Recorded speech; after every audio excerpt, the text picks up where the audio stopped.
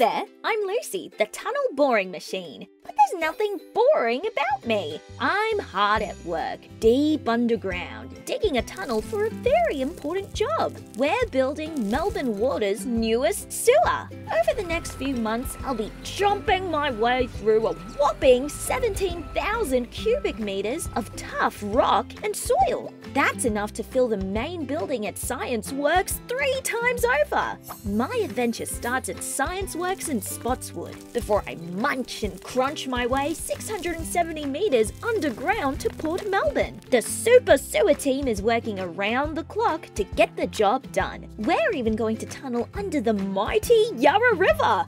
It's no easy task, but I was literally made for this. So the next time you think of me as just another boring machine, remember that I'm here, making a big impact on building a better future for our communities.